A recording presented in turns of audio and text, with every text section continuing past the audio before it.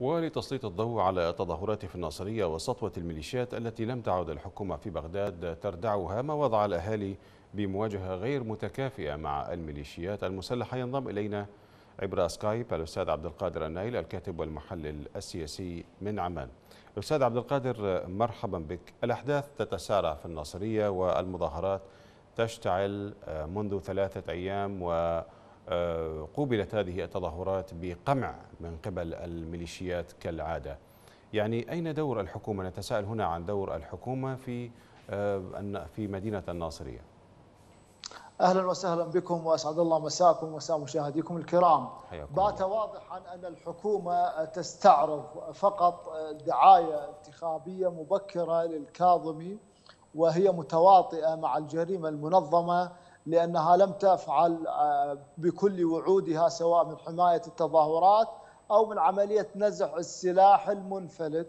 فأصبح واضحا أنها متواطئة ومشاركة بهذه الجريمة لأنه من يدعم مناطق الميليشيات وسلاحها ضد المواطنين هي الحكومة ذاتها. وقد رأيتم كيف فشل جهاز مكافحة الإرهاب في عملية الوصول إلى مقرات اعتقال أو احتجاز بعض المختطفين. لا سيما ما جرى بعملية واضحة يراد منها إدخال العشائر وأسماء العشائر الكريمة بهكذا صراعات للفت الانتباه ولايضا إرسال رسائل على أن هؤلاء لا يمكن مواجهتهم من أجل استشعار حجم ما يجري من اختطاف العراق لصالح أطراف ميليشياوية. وإلا فإن عشيرة العساكر عشيرة كريمة كبيرة تبرأ من هؤلاء الميليشياويين الذين هم حقيقة من أيام الأهوار إلى معسكر رفحاء كانت إيران تمدهم بالسلاح واليوم هم المادة أو هؤلاء المجموعة الصغيرة هي المادة لعملية الاختطاف والميليشيات في الأهوار وهي تمتد في ذلك المكان.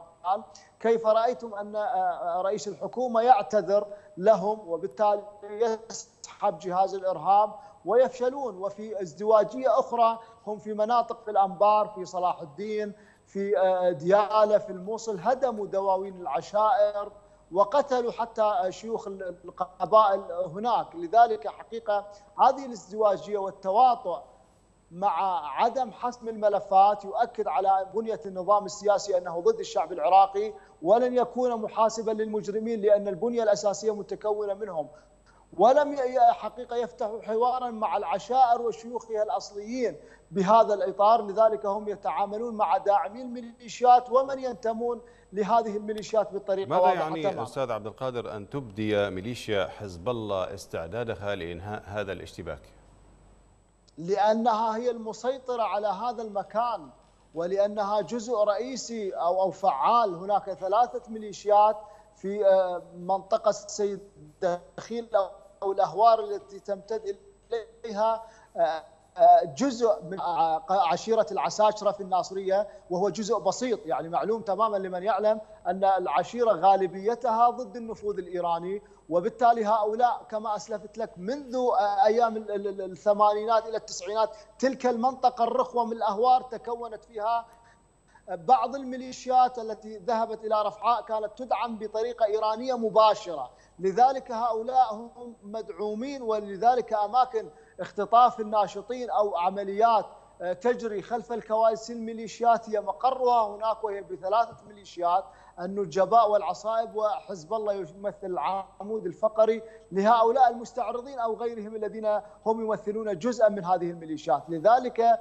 حزب الله لأنه يعلم أنه هو الموجود وهو المسيطر وهو الذي استعرض وهو الذي هدد الحكومة وبالتالي هنا أيضا بينت عملية سيطرتهم وضعف جهاز الإرهاب الذي ذهب حقيقة عقيد سلام هناك الذي كان يستأسد على المواطنين العزل وكان يعذب ويعتقل ويختطف في مناطق معلومة وكان حقيقة يتكلم بأكثر من حتى فوق القانون. عندما ذهب هناك كان حقيقة وديعة سكينة لدى الميليشيات وعملية تدخل حزب الله تؤكد على أنهم هم الأعلى وأن كل الأجهزة تلك هي التابعة لهم وهم من يقرر عليها طيب. وأن الحكومة لا أصل لقوتها ولا وجودها طيب. وان ما فعله الكاظمي هو استعراض. المحكمة اليوم أصدرت مذكرة اتهام ضد أحد عناصر ميليشيا بدر يعني طبعا في قضية الناشط سجاد العراقي يعني من وجهة نظرك هل تستطيع القوات الأمنية أن تنفذ أوامر المحكمة بإلقاء القبض على عناصر تابعين لميليشيا بدر؟ هنا أنا أحيل بنفس الجواب على السؤال هل نفذت الحكومة اعتقال قد رئيس أو أو مسؤول لواء 30 من الحشد في نينوى الذي ضرب القاضي وقتل ابنه ولا زال ينتهك ويفرض الأتاوات على الناس ويهجر الناس ويرتكب الجرائم. الجواب كلا لذلك لا يمكن اعتقال هؤلاء الذين هم فوق القانون وبالتالي ما يجري هو عملية ذر الرماد في العيون من أجل تشتيت الأنظار. هو القضية تجري لكن السؤال أين سجاد؟ وما دور عملية إنقاذه؟ لذلك حقيقة وما دور عملية إنقاذ التظاهرات لذلك على العشائر أن تعتمد على نفسها وعلى المتظاهرين أن يفهموا أن هذه الحلقة دفعت من أجل تشتيت الأضواء على قضية السجاد وعلى قضية الاختطافات ما تداعيات من خلالها طيب. لفت الانتباه وهي حركة حقوقية في هذه النقطة أستاذ عبد القادر ما تداعيات إدخال الميليشيات في هذا الصراع؟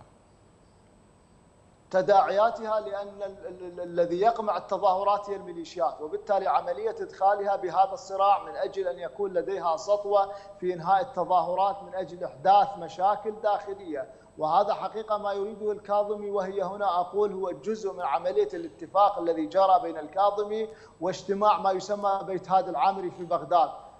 الذي طولب منهم أن يتم انهاء ثورة تشرين، لذلك الشعب العراقي مدعو إلى كسر هذه الفرضية وهذه الإرادة التي يسعون إليها من خلال إحداث هكذا فتن، وبالتالي زيارة المالكي إلى طهران الأخيرة أيضا تصب في هذه القضية لأنهم يريدون إشعال المنطقة بحروب يتم استهداف فيها وصلاء العرب من جنوب العراق الصلاء العراقيين الذين هم الأغلبية وهم يرفضون المشروع الإيراني وأدواته من خلال أن أن أن يتم فتح المجال للميليشيات بطريقة واضحة للقضاء عليهم. لكن إرادة الشعب العراقي أقوى إذا ما كانت هناك وقفة عراقية وهناك حاليا في ظل في ظل آه، يعني المعطيات الحالية آه، أقرب وصف للوضع في الناصرية هو آه، أن تعم الفوضى. من المستفيد من آه، الفوضى وانتشارها في العراق في الناصرية تحديدا؟ الفوضى هي مشروع إيران القادم في العراق من أجل عملية لفت الانتباه لكثير من القضايا التي تخصها في الداخل. ولذلك هي عملية عملية إيرانية تستفاد منها إيران وثانيا تعزز حكم الميليشيات في بغداد من خلال السيطرة الكاملة على مجمل العملية السياسية وربما هناك سيناريوهات تمهد لانقلاب كامل شبيه بالانقلاب الثورة الإيرانية داخل إيران في العراق لأن اليوم الميليشيات تبسط جميع أدواتها وعملية حقيقة إضعاف آه، الأجهزة الأمنية الأخرى وإعطاء رسائل للعراقيين على أن هذه الأجهزة هي أجهزة ضعيفة أمام الميليشيات والوصول لهذه الغاية الأساسية لإيران. لذلك إيران وأدواتها من الميليشيات هم المستفيدين من الفوضى لا سيما إذا ما أخذنا بنظر الاعتبار أن التظاهرات سلمية وأن أبناؤها يصرون على سلميتهم وأن هذه العشائر آه، حقيقة مختطفة لدى السلاح الموجود والمدعوم والذي دفعت آه، الدولة أمواله لتسلمه إلى هؤلاء. لذلك تعمد الميليشيات على زج اسم العشائر والعشائر بريئة من كل الصراعات والسلاح الموجود في الجنوب. إنما هي حركات ميليشياوية تستخدم اسم العشائر في عملية غطائها في السيطرة على المناطق وإرهاب الآخرين بهذه الأطر. الأستاذ عبد القادر النايل الكاتب والمحلل السياسي العراقي كنت معنا عبر سكايب من عمان شكرا جزيلا لك.